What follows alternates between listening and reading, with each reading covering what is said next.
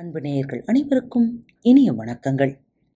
இன்று தங்களது திருமண நாள் மற்றும் பிறந்தநாள் விழாவை கொண்டாடும் அனைவருக்கும் தோழியின் மனம் நிறைந்த வாழ்த்துக்கள்.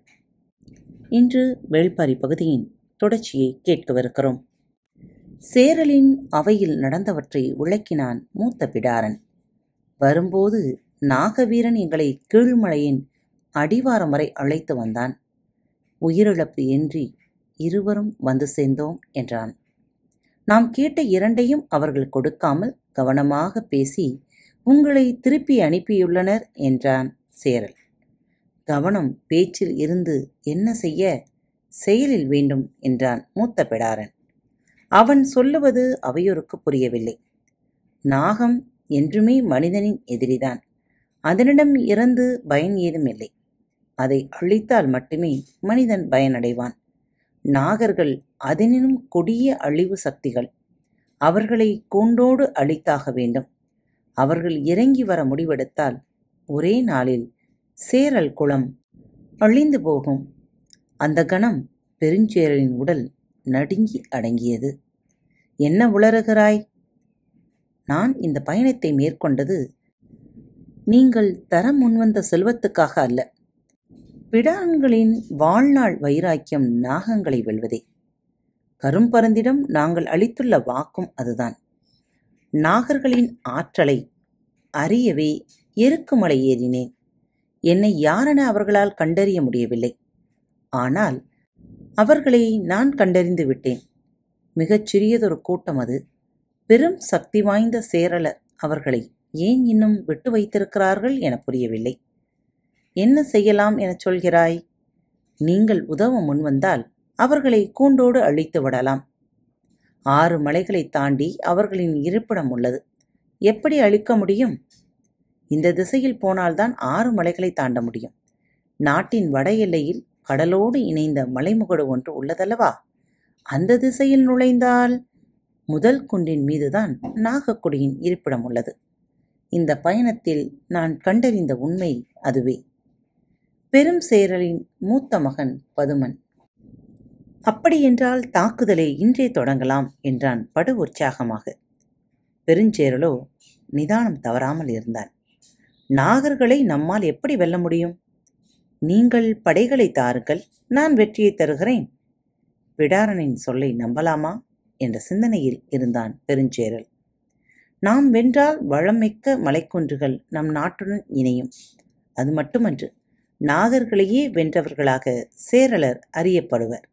அதன் பிறகு யார் மீது நாம் போர் தொடுத்தாலும் நமது ஆயுதங்கள் தாக்கும் முன் நாம் வென்ற நாகங்களின் கதைகள் அவர்களை தாக்கி பலம் இழக்கச் செய்யும் என்றான் பதுமன். பெருஞ்சேரல் மூத்த பிடாரனை பார்த்து கேட்டான் படைகள் எப்போது புறப்பட வேண்டும்? எனக்கான ஆயுதங்களை நான் சேகரிக்க சில மாதங்களாகும். அதன் பிறகு புறப்படலாம். வடதிசை மலைமுகட்டின் அடிவாரத்தில் சேரல படை அணிவகுத்து நின்றது. தளபதிகள் இரண்டு நிலைகளாக படைகளை நிறுத்தியிருந்தனர் காலாட்படையும் விற்படையும் எருக்கு மலையை நோக்கி நின்றன. படைகளுக்கு பின்னால் முகட்டின் மேல்புறத்திலிருந்து பெருஞ்சேரல் களத்தை கூர்ந்து கவனித்துக் கொண்டிருந்தான். பெருஞ்சேரலின் படையடிவாரத்தில் திரண்டிருப்பதை அறிந்த நாகர்கள் எதிர்த்தாக்குதலுக்கு ஆயத்தமானார்கள். மூத்த பிடாரன் மூன்று மாதங்களாக சேகரித்த ஆயுதங்கள் எல்லாம் நான்கு கூட்டு வண்டிகளில் இருந்தன. அவை என்ன ஆயுதங்கள் என்பதை அவன் யாரிடமும் சொல்லவில்லை. போரின் போக்குகளுக்கு ஏற்ப அவற்றை பயன்படுத்தலாம் என்ற முடிவோடு நாகர்களின் தாக்குதல் உக்கி கவனித்துக் கொண்டிருந்தான். அவனோடு பெருஞ்சேரல் மகன் பதுமன் நின்றிருந்தான். விரிசங்கு ஊதி போரைத் தொடங்கினான் பெருஞ்சேரல். அவன் படை வீரர்கள் ஆயுதங்களோடு மெல்ல முன்னகர்ந்தனர். மலையின் மீதிருந்து நாகர்கள் படை தளபதி கொம்போசை கேட்டது. நாகர்களின் தாக்குதல் எப்படி இருக்கும் என இதுவரை யாரும் பார்த்ததில்லை. எனவே வீரர்கள் பெரும் நடுக்கத்தின் வழியேதான் ஆயுதங்களை பிடித்துக்கொண்டு முன்னேறினர். சேரலர் படை எண்ணிக்கை மிக பெரிதாக இருந்தது. அதில் நான்கில் ஒரு பங்குக்கும் குறைவாகத்தான் நாகர்குடியினர் இருப்பார்கள் என்று கணித்திருந்தான் மூத்த பெடாரன். எனவே இந்த போர் உச்சி பொழுதுக்குள் முடிந்துவிடும். என்பது அவனது எண்ணம். சேரள வீரர்கள் முன்னோக்கி சென்றபோது நாகர்களும் மூன்று அணிகளாக இறங்கி வந்தனர். ஒவ்வொரு அணியிலும் மிக குறைவான வீரர்களே இருந்தனர். அதை கண்ட சேரள வீரர்களுக்கு பெரும் நம்பிக்கை பிறந்தது. அவர்கள் இறங்கி வருவதில் ஏதோ மாறுபட்ட தன்மை இருக்கிறதே என உற்று பார்த்து கொண்டிருந்தான் மூத்த பிடாரன். நாகர்களின் இடதுபுற குழு குறு வளைவு கொண்டு இறங்கியது. வலதுபுற குழு பெரும் வளைவு கொண்டு இறங்கியது. நடுவில் வந்த குழு வளைவுகளற்று நெடுவாக்கில் படுவேகமாக இறங்கியது. இதற்கான காரணம் என்னவாக இருக்கும் என கணித்துக் கொண்டிருந்த பொழுதே சேரலர் படை நாகர்களை நோக்கி அம்புகளை வீசியது. நடுவில் நெடுவாக்கில் வந்த நாகர் படையினர் முன் வரிசையினர் மண்டியிட்டு அமர்ந்து அம்பை நாணில் ஏற்றினர். வழக்கமான நேரத்தை விட அவர்கள் நாணேற்ற மும்மடங்கு நேரமானது. போர் பயிற்சி அற்றவர்கள் என்பது இதிலிருந்தே தெரிகிறது என்றான் பதுமன். நாகர்கள் தொடுத்த நாணிலிருந்து அம்புகள் பறந்து வரும்போதுதான் அம்போடு சேர்ந்து மற்றொன்று நெளிந்து கொண்டு வருவது தெரிந்தது. கன நேரத்திற்குள் சேரலர் படை கதி கலங்கியது. அம்போடு வந்து இறங்கிய சாரைகள் நான்கு புறங்களிலும் விழுந்து நகர படை வீரர்கள் திசையெங்கும் தெரித்து ஓடினர். நாகர்களின் இந்த தாக்குதலை எதிர்பார்த்திருந்தான் மூத்த பிடாரன். முதலிலே சொன்னான் படைவீரன் ஒருவன் கூட களத்தில் நிற்க மாட்டான். அதனால் தான் சொல்லவில்லை என்று பதுமனிடம் கூறினான். நடுவில் நெடுவாக்கில் இறங்கியது சாரைப்பாம்பு உத்தி.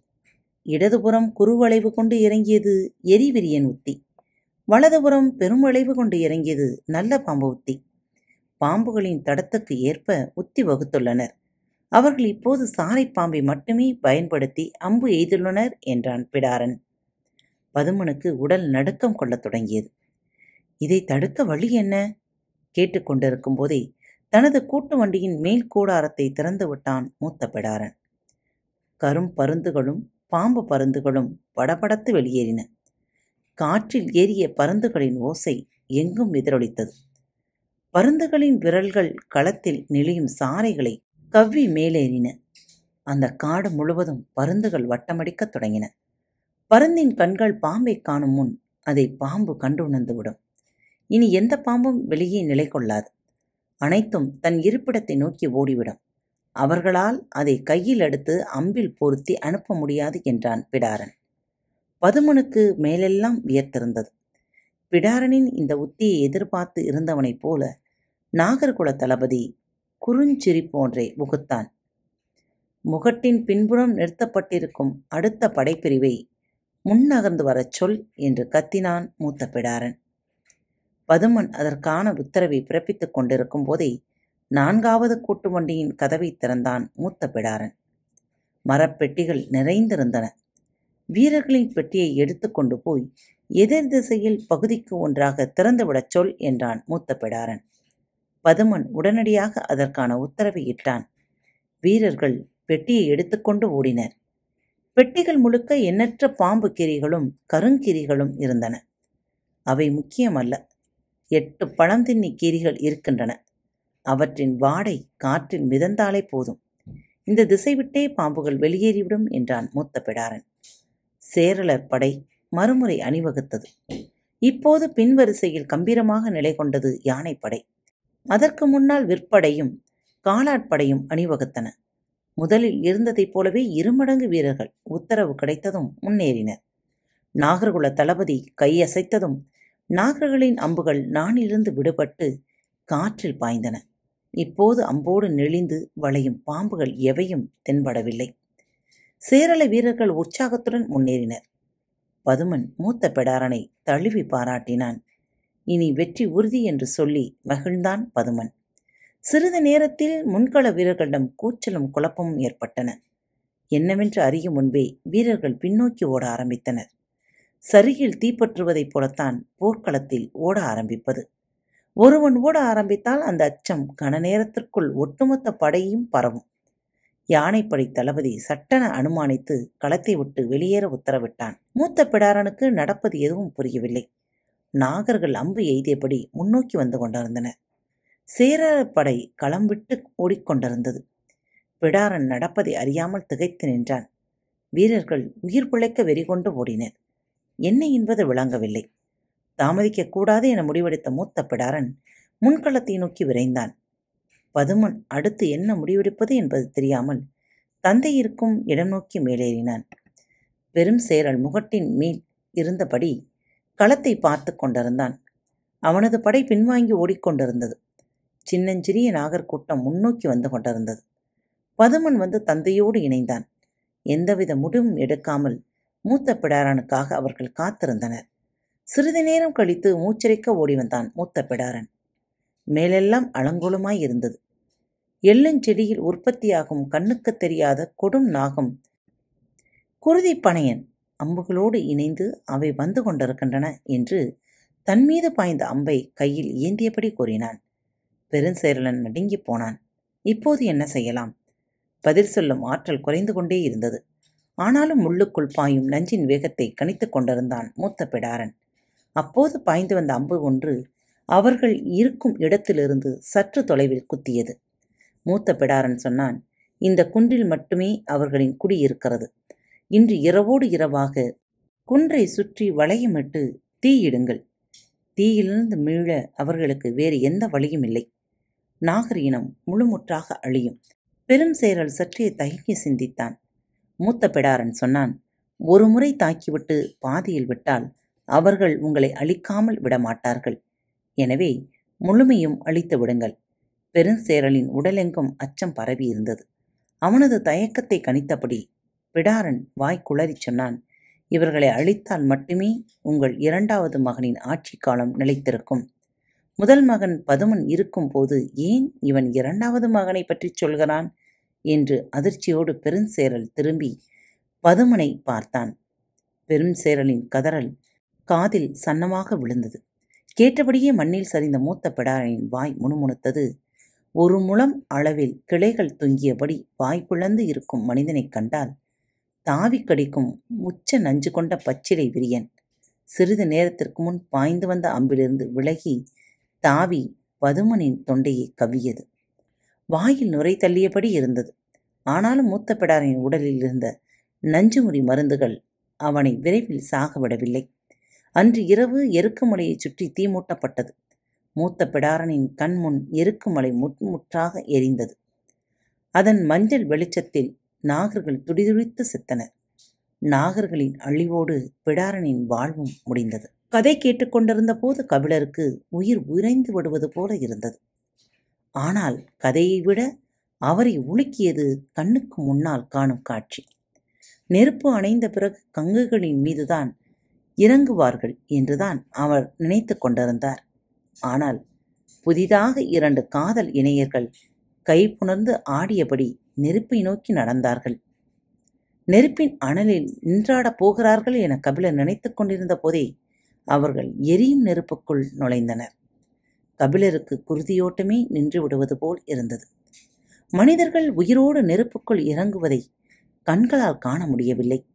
நெருப்புக்குள் இறங்கியவர்கள் சுழன்று கைகளை வீசிய போது உள்ளிருந்து தீப்பொறிகள் நான்கு புறங்களிலும் தெரித்தன அவர்கள் ஆடுகின்றனரா? எரிகின்றனரா? புரியாத நிலையில் கண்ணிமை செருக மயங்கிச் சரிந்தார் கபிலர். காத்துக்கொண்டே இருங்கள். பரம்பின் குரல் மீண்டும் ஒழிக்கும் சப்ஸ்கிரைப் செய்யாதவர்கள் சப்ஸ்கிரைப் செய்து கொள்ளுங்கள்.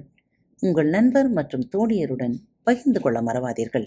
மீண்டும் நாளை சந்திப்போம். அதுவரை உங்களிடமிருந்து விடைபெற்றுக் கொள்வது உங்கள் அன்பு தோழி.